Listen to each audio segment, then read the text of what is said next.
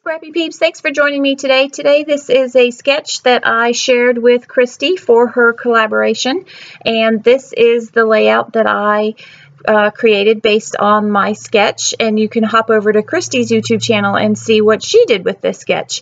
So the sketch calls for two stacked V's and two pictures and originally the sketch went on the horizontal.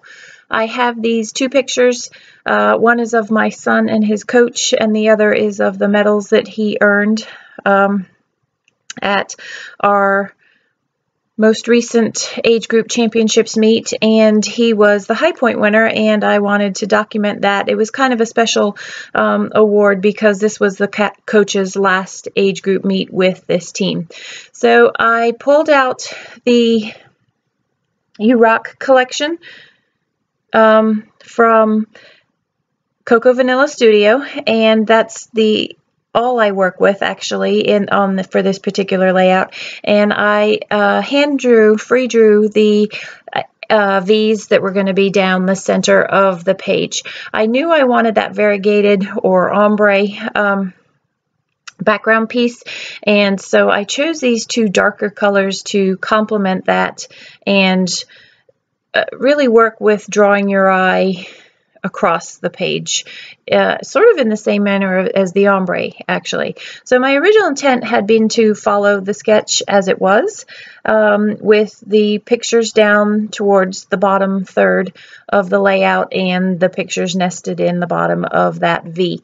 And I knew I had wanted, when I chose the, the papers that I was going to use, I knew I had wanted the darker pattern paper or the black stars to be the thinner of the two V's.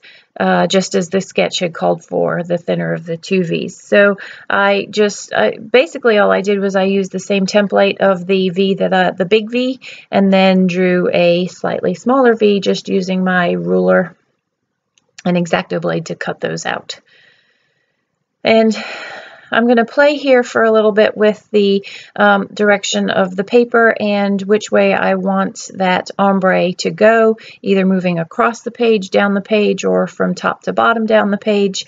And I settle on not this.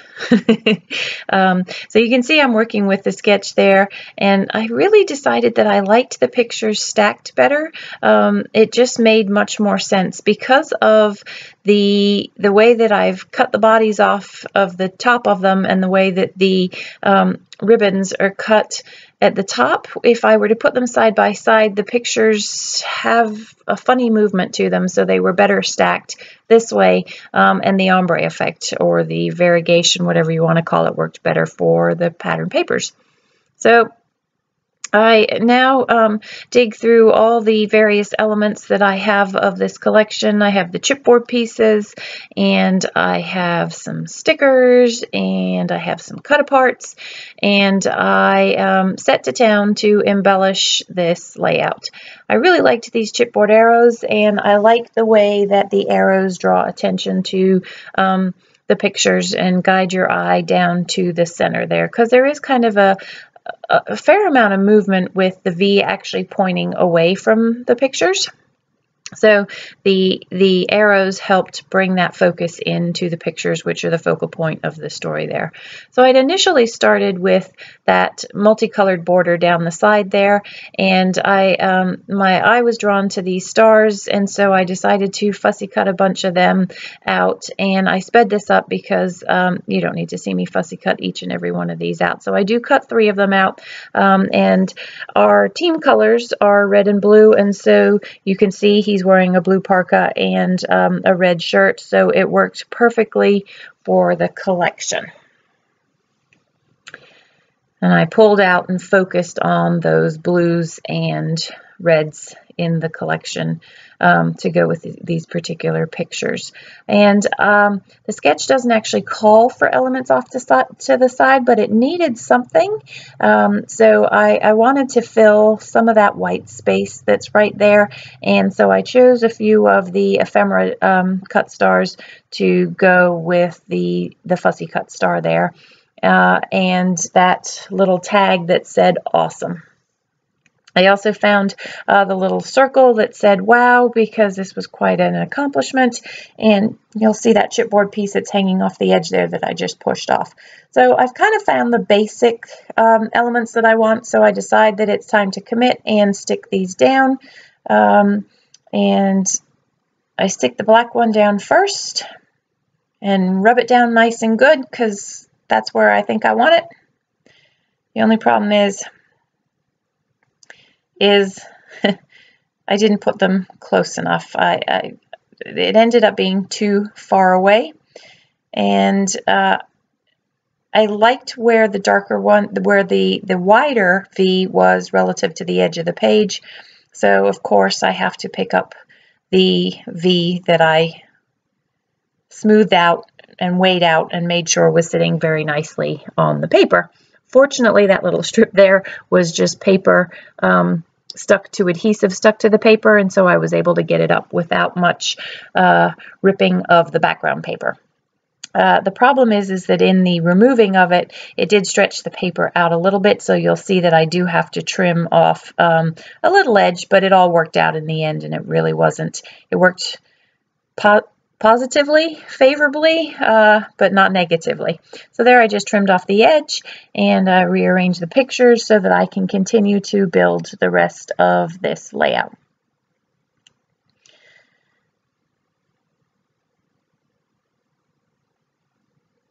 I decided that I wanted to back the photos. Uh, there was a lot of movement to the page and by backing the photos I was able to unify things a little bit. Um, and so originally I wanted to skew the pictures a little bit, but by putting them on this one piece, I uh, had to stack them top to bottom in order to have an even frame around the, the pictures there.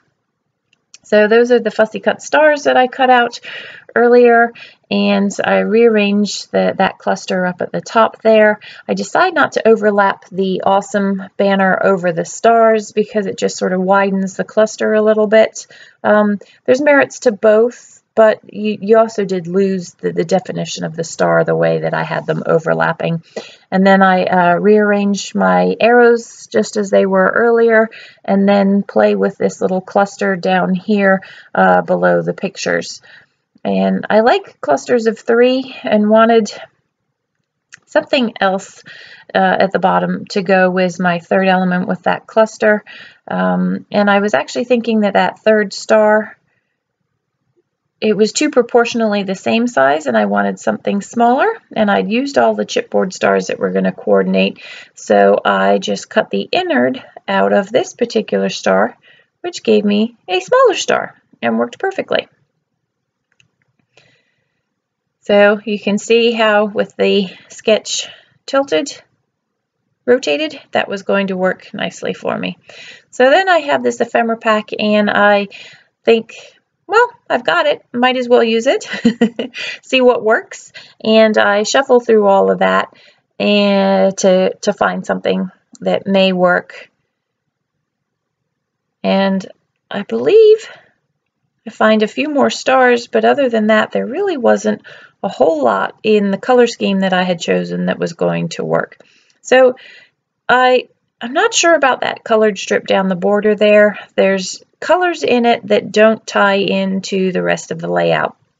So I pushed that off to the side, but I, I did, did decide to commit to these stars and stuck those down. Um, I'm curious to see if Christy puts in an element uh, to close out that white space as well. I wanted this wow popped up, so I used some foam adhesive and just popped that up for a little bit of dimension on the page. Uh, normally I would have popped one of the two pictures, uh, but it, the depth was too funny there. So I uh, decide that I'm going to fussy cut that star and I just quickly went through that, sped through that as well. Um, and uh, I mostly sped through that because I don't actually end up using this star. It's way too big of an element, um, but I did save it so that I could use it on another project. Um,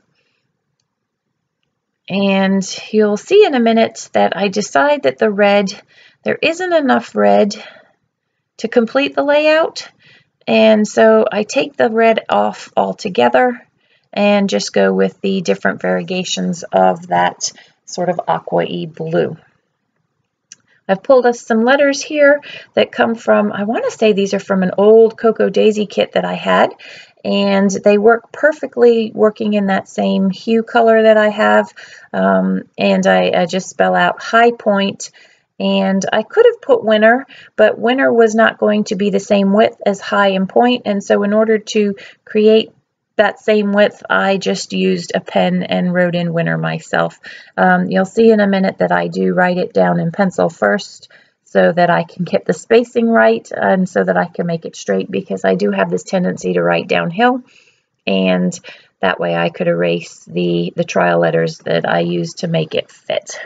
I'm going to stick down the rest of my embellishments though to see how much space that I actually have underneath high point to write winner. So I'm just going to glue these stars down with my Prima planner pen.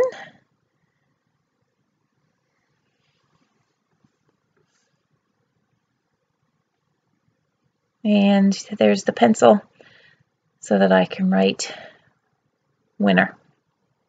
Um, I do end up changing where that uh, little chipboard white piece towards the edge of the paper is there. I didn't like it and I pulled it in next to high to give a little bit of a contrasting direction because the V goes the other way and um, sort of pull some symmetry into the layout. So that is my interpretation of my own sketch. Please stop by over at Christy's uh, YouTube channel and see how she played along. Thanks, Christy, for inviting me to, to participate today. Enjoy these close-ups, and if you have any questions, don't hesitate to leave them down below. Thanks for stopping in today. Take care.